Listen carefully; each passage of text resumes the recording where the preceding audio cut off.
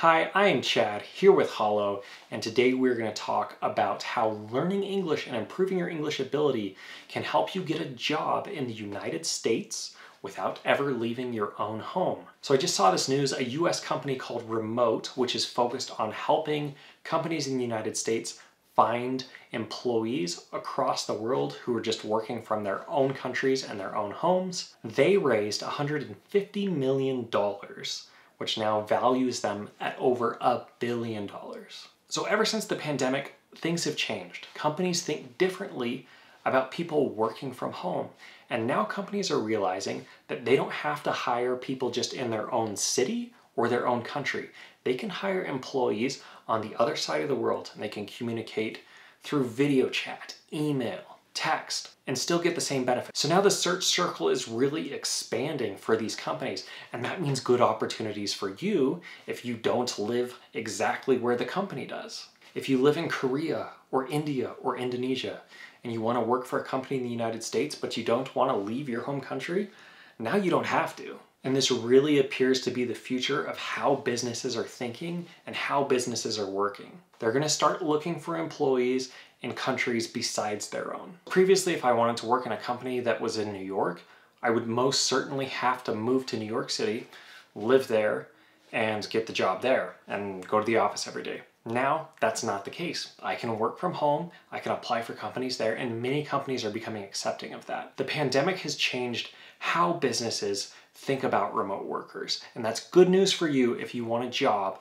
in the US or another country. And this company, Remote, raising $150 million tells you that the smart people who are investing, they really believe that remote work is the future because Remote's exclusive job is just to help companies find employees in different countries. So even here at Hallo, we have employees in Korea, India, and Chile and I expect that's going to continue for us and continue for other companies too. So that's great news for you if you're interested in working in the US or another country, but there's going to be a requirement for almost every single international job posting, and that's going to be the ability to speak English. So there's going to be communication through email, text, and video chat most likely. And you're gonna need to have at least the basics of English in order to get a job for one of these companies. And I know that sounds scary because you probably think you're so far away, but you're not, I promise you. I promise your English is better than you think it is. And you're probably not far away from being good enough to get some of these jobs. So on this YouTube channel and at Hallo, we're gonna be providing resources for one, how do you find a job in a different country?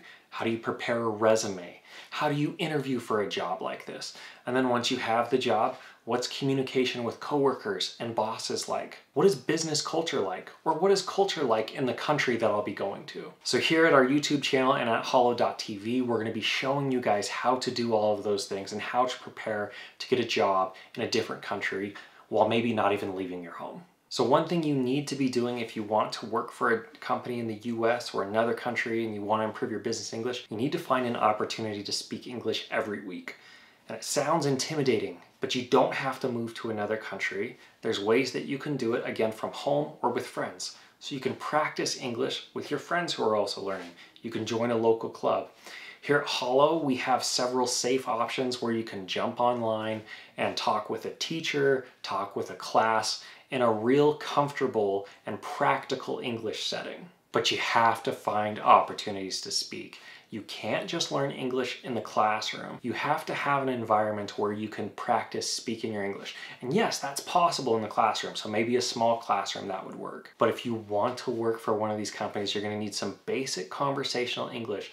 And the only way to get comfortable with that is practice practice speaking. That's something that I've learned when I've learned Korean before is that I can study as much as I want on my own with books, but the only way to get better at having a conversation is to have a conversation. So one more thing you can do is start getting familiar with whatever industry you want to be in. For example, let's say you're interested in accounting. Then maybe read a book, an English book about accounting. Just start getting familiar with the terminology. What types of words are used at a US company when they're talking about accounting? You don't have to know everything right away, but the familiarity will help you if you can get used to how people talk when they're talking about whatever industry you'll be in. So for example, I know a pretty good amount of Korean, but if you ask me to talk about cars, let's say I wanted a job in Korea working for a car repair shop or doing marketing for a car company in Korea, I know almost no words related to cars. So in order to get familiar with that,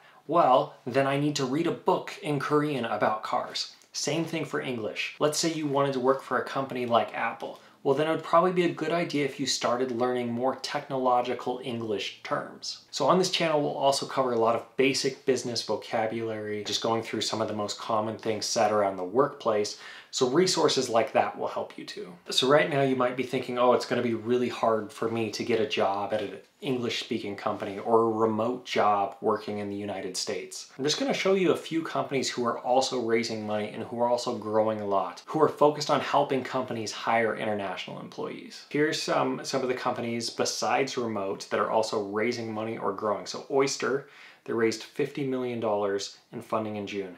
Deel, now valued over a billion dollars.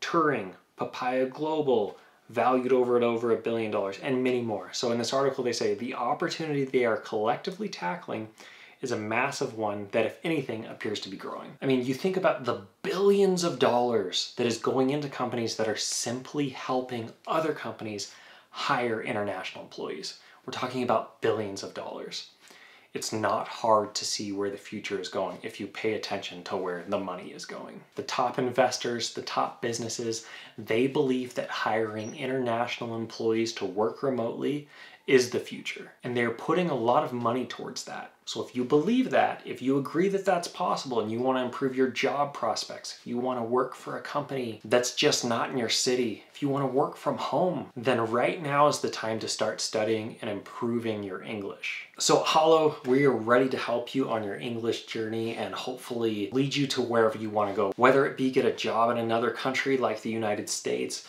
or simply just improve your conversation. So please subscribe below check out our future videos and check out our website, hallo.tv. We will see you guys next time. Thank you. Bye.